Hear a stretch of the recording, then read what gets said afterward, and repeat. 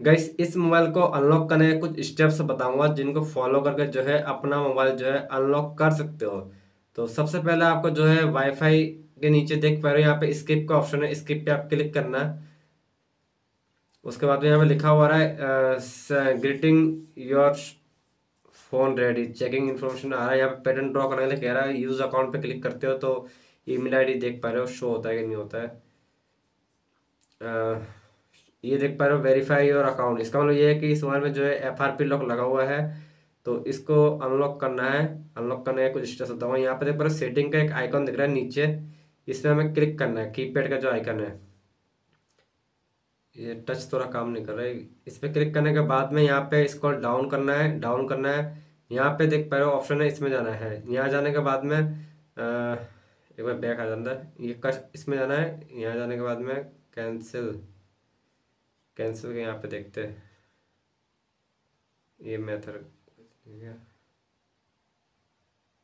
Test वाले function में जाके देखते हैं। यहाँ पे नहीं है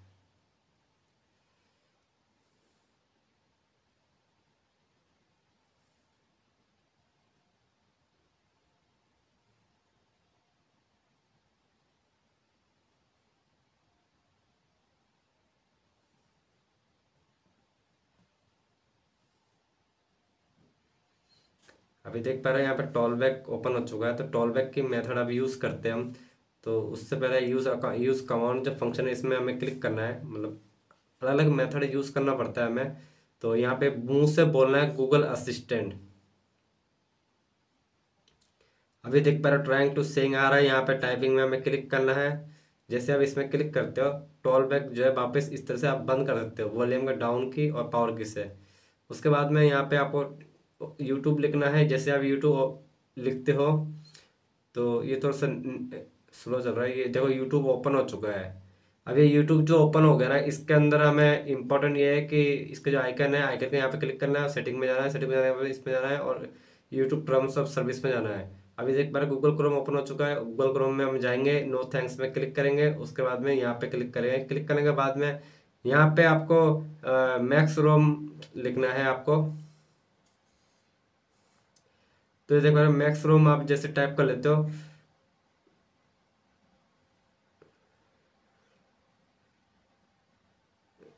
इसको सर्च कर देंगे।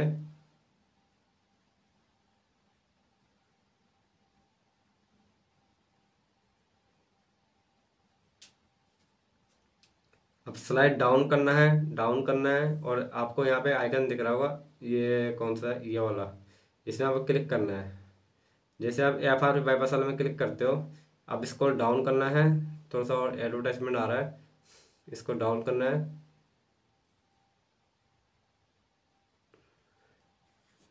यहाँ पे जो ऐप है, इसमें आप क्लिक करना है आपको।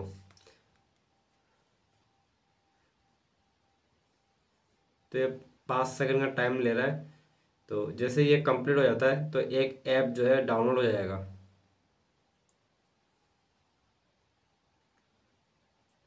यहाँ पे एक और चीज़ है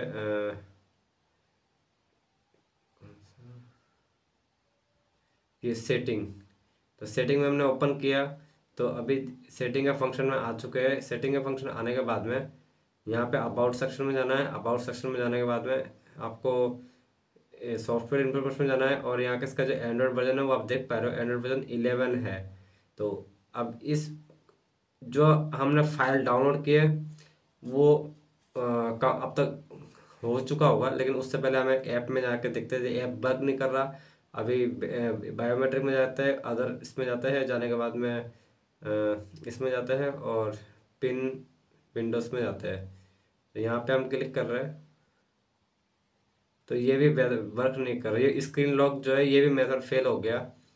अब यूज़ करते हैं तीसरा मेथड एक बार दोबारा सेटिंग में जाते हैं। सेटिंग में सैमसंग अकाउंट में जाते हैं। यहाँ पे जो है अपना मतलब कोई भी आईडी जो है सैमसंग का आईडी बना लेना। सैमसंग का आईडी बनाने के बाद में इसमें लॉगिन करना है। तो सैमसंग का आईडी बनाने के बाद में साइन अप करोगे, उसके बाद में इसका जो पासवर्ड वगैरह जो भी डालना है ओटीपी भी आता है, वो ध्यान रख लेना, वो अच्छी आप जब भी सैमसंग का आई बनाते हो तो। तो यहाँ पे आपको थोड़ा सा एक बार बैक आ जाता है। बैक आने के बाद में गैलेक्सी इसमें जाना है। अब गैलेक्सी स्टोर से जो है हमें एक फ़ाइल डाउनलोड करना पड़ेगा। ये गैलेक्सी स्टोर ओपन हो चुका है और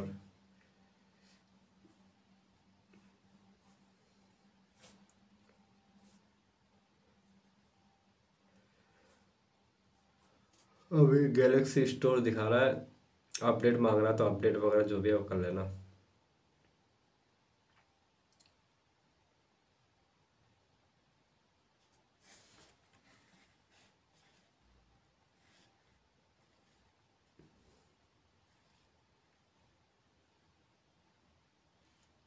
अब गैलेक्सी स्टोर एक बार दोबारा ओपन करते हैं।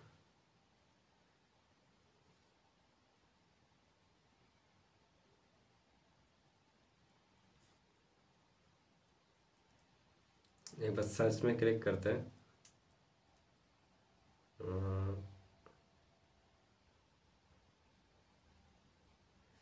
यहाँ पे आपको फैक्ट्री रीसेट टाइप करना है एक बार।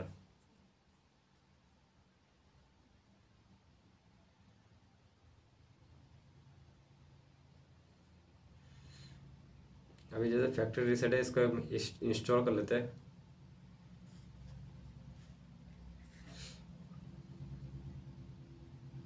ये पे कर देते हैं। यहाँ पे एक चीज़ और सर्च करते हैं।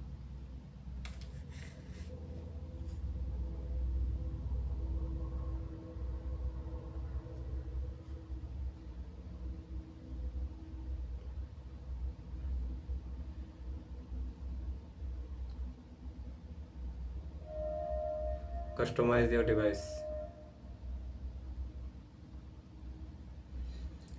अभी इस तरह से इंटरफेस शो हो रहा है। अभी एफ़ आर पी लॉक जो है कम्प्लीटली रिमूव नहीं हुआ है। थोड़ा सा अभी वैसे और भी स्टेप्स बाकी है। तो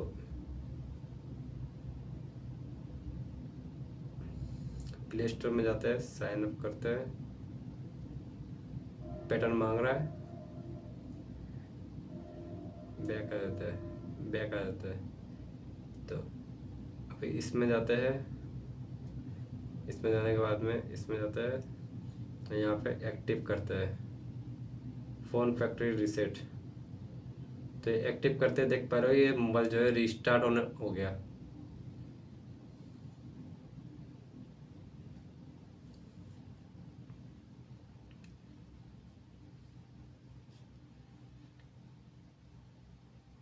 अभी इरेजिंग हो रहा है।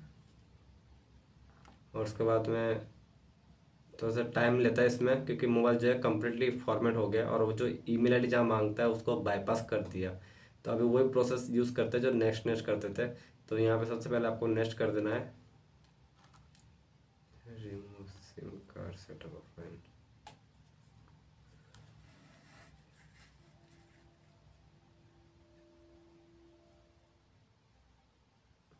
next मतलब